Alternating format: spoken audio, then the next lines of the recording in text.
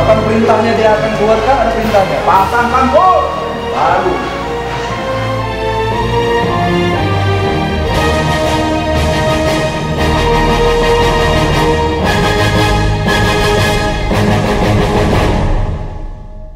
Tanggal 26 Maret 1873, Kerajaan Belanda memaklukmatkan perang kepada Kerajaan Aceh.